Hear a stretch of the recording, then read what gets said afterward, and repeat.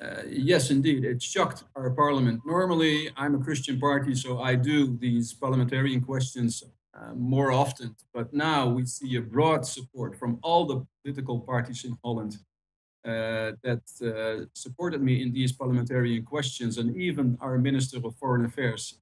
He was also very worried about this verdict, uh, so much so that he asked our ambassador, who is actually at this moment in Jakarta, human rights ambassador, uh, to take contact with the Minister of uh, Human Rights in Indonesia and express our deepest concern now about this.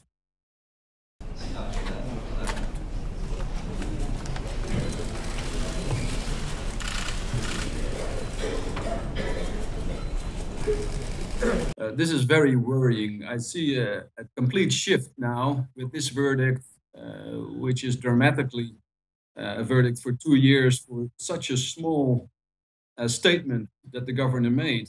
Uh, so this could be a new trend in the Indonesian society, judges and court system that uh, will decrease the religious intolerance in that country as we know the country uh, to be pluralistic and diversity.